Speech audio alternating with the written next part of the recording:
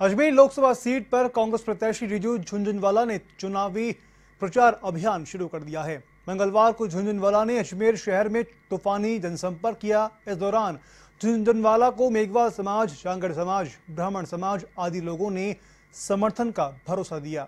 तो वहीं पर झुंझुनवाला ने भी लोगों के हर सुख दुख में साथ रहने, पेयजल की प्रमुख समस्या का समाधान कराने तथा अजमेर में औद्योगिक क्रांति लाने की बात कही। जनसंपर्क के दौरान जगह जगह पर लोगों ने कांग्रेस प्रत्याशी का जोरदार तरीके से स्वागत किया। जनसंपर्क करके निकले कांग्रेस प्रत्याशी रिजू झुंझुनवाला से बात की हमारे संवाददाता आशीष तिवारी ने। जैसे जैसे लोकसभा चुनाव में मतदान की तिथि नज़दीक आती जा रही है, उसी के साथ चुनाव प्रचार अभियान अपने परवान पर है। अजमेर लोकसभा सीट से कांग्रेस प्रत्याशी रिजू झुंझुनवाला इस वक्त हमारे साथ मौजूद हैं। उनसे जानते हैं कि कैसा माहौल वो देख रहे हैं। जी सर, कैसा माहौल आप देख रहे हैं? माहौल बहुत अच्छा बना हुआ है। पिछले 20 दिन से जो माहौल था, वो एक और गति लिए जा रहे हैं। दिन पे दिन हम जो देख रहे हैं, लोग जुड़ते जा रहे हैं, काफिला बने जा रहे हैं, चाहे वो शहर में हो या देहात में हो। और एक पूरे तरह से जो मैं पहले से देख रहा था कि ये कांग्रेस के लिए एक जो लहर है, ये अब एकदम जाते जाते जैसे चुनाव पास आते जा रहे हैं। ये और बड़ी हो जाएगी आप औद्योगिक जगत से आते हैं और अब राजनीति की पारी की शुरुआत आप करने जा रहे हैं कैसा लग रहा है? ये बहुत बढ़िया लग रहा है लोगों से जुड़ के लोगों के बीच में रह के। हमने सारे पंचायत कवर करे सारे देहात में सारे शहर में। सब जगह हमने कवर करी है लोगों के बीच में रह के उनकी समस्याएँ समझ के।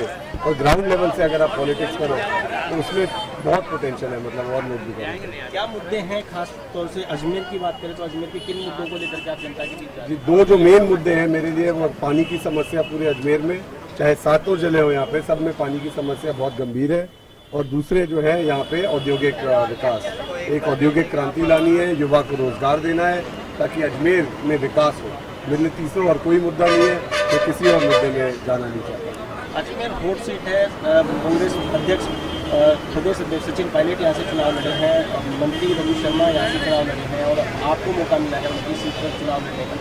जी मैं ये भी पहले भी यही कहा कि मैं इस बात को एक बहुत गौरवपूर्ण बात मानता हूँ कि जिस लोकसभा क्षेत्र का प्रतिनिधित्व खुद सचिन पायलट जी ने करा और रघु शर्मा जी ने करा उसका आज मेरे को मौका दिया गया है। तो एक बहुत बड़ी ज़िम्मेदारी भी है मेरे पे लेकिन मैं समझता हूँ कि मैं इस ज़िम्मेदारी पे पूरा तरह खड़ा हूँ। अंतिम सवाल आपसे कि आप पूरे क्षेत्र का दौरा कर रहे हैं उपचुनाव में कांग्रेस ने जीत दर्ज की थी तो उस जीत को क्या बरकरार रखेंगे? पूरी तरह से बरकरार रखेंगे बल्कि ज़्यादा लीड आने वाली है आप देखेंगे इस बार। इसके बहुत कारण है जनता हमारे साथ है उन लोग को समझ आ गया है कि जो मुद्दे हैं लोगों से जुड़े हुए हम इन्हीं मुद्दों को उठा रहे हैं। आप हमारे विपक्ष को देखिए उनके पास कोई मुद्दे नहीं है सिर्फ़ एक नेशनलिज्म मोदी जी और बात।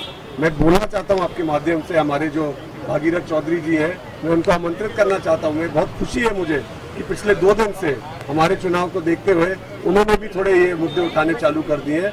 तो हम बैठे साथ में, मैं और भागीरथ जी बैठे साथ में इस मुद्दों के ऊपर उठाएँ कि अजमेर की जनता क्या चाहती है, यहाँ आप कैसे विकास लाओगे, कैसे रोज़गार लाओगे, हम बैठ के इस पर चर्चा चर्चा करें और उन मुद्दों पे अजमेर की जनता डिसाइड करे कि हमको किसको वोट करना है और किस दिशा में जाना है।